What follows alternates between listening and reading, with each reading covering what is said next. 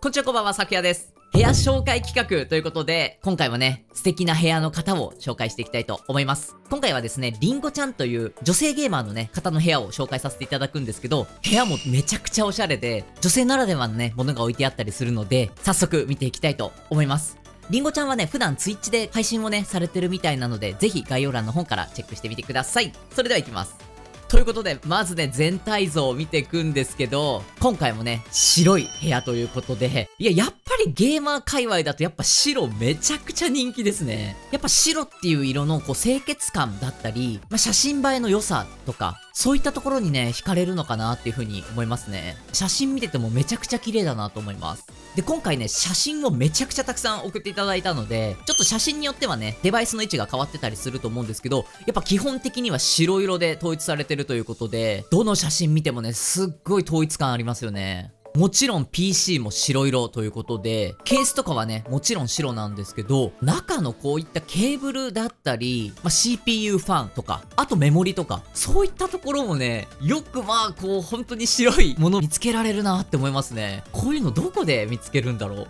さらに置いてあるね、ちょっとレースのフィギュアなんかも可愛いですね。あと、あれか、リンゴちゃんだから白いリンゴのね、置物なんかも置いてあるんですね。そしてね、僕がすごいいいなと思ったのが、まあ、ここ女性ならではなのかなと思うんですけど、こういったね、白っていうブランドのフレグランスのアイテムが置いてあったり、あとまあ、イプサとかのルームスプレーみたいな感じなのかな？なんだろう？イプサってね、化粧水とかのイメージですけど、まあそういったものが置いてあったり、あとまあジョーマローンとかのね、香水があったり、こういったね、ちょっとゲームとはまた関係ないアイテムなんだけど、この白の世界観と非常にマッチしててね、素敵だなと思いますね。こうしてみると白とシルバーの色合いもね、すごくマッチしてますね。はい、そして今回もね、こだわりポイントを聞いてきました。こだわりポイントとしては、基本は白基調で揃えてるということなんですけど、デバイス的に真っ白なものがね、ないタイプのものもあるので、真っ白というよりかは、あえてまあ黒色だったり、グレーのね、アイテムも取り入れてるとのことでした。で、ライティングに関しては、淡いね、水色っぽいいブルー系の色となってるので、こう白にね、このブルーが反射して、すごいね、優しい世界観になってるんじゃないかなと思いました。こういったね、ライティングでの見せ方っていうのも、すっごい参考になりますね。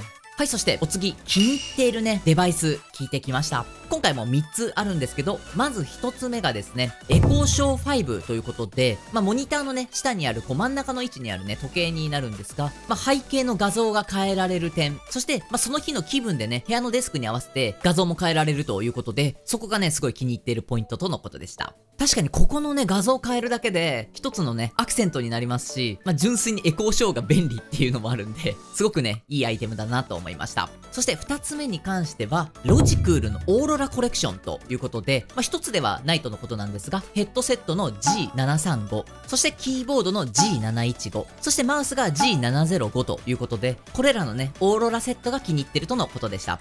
やっぱあの、リンゴ、可愛いですね。まあ、オーロラコレクションはとにかくね、可愛らしくて、最近ね、女性ゲーマーのね、間でもすごく人気になってきてるとのことなんですが、キーボードとマウス、それぞれのね、動き方だったり、色合いの変更、あと、キーボード付属のね、手首置きのね、雲みたいなやつもね、めちゃくちゃ可愛くて、すごく気に入ってるとのことでした。また別売りで、上部プレートとキーキャップがね、売ってるとのことで、色をカスタムするのも可愛くていいんじゃないかなとのことでした。はい、そして3つ目のアイテムですね。3つ目は、エルゴトロンのモニターアームホワイトということで、まあ、ちょっとね、ね写真だと角度的にね、映せないアイテムになるんですが、モニターの後ろにね、ある、まあ、モニターアームっていうことでした。簡単にモニターのね、上下前後、角度変えられるので、キーマウとパッドのゲームの切り替えの時とかもね、すごい便利で気に入ってるとのことでした。あとまあ、白デバイスでね、揃えてるということで、そういったところもね、色がマッチしてていいんじゃないかなと思います。僕もね、エルゴトロンのモニターアーム使ってるんですけど、これはね、本当にデュアルモニターするんなら、必須かなと思うぐらいに、僕もおすすめです。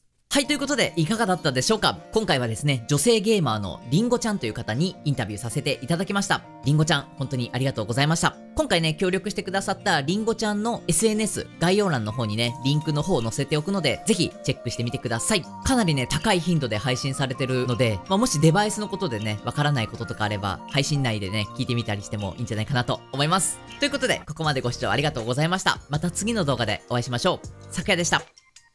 ここまで見てくれてありがとうございます。チャンネル登録ボタンと高評価ボタンをポチッと押してくれるとすごく嬉しいです。他にもおすすめ動画や最新動画が載ってると思うので、ぜひチェックしていってください。それではまた次の動画でお会いしましょう。昨夜でした。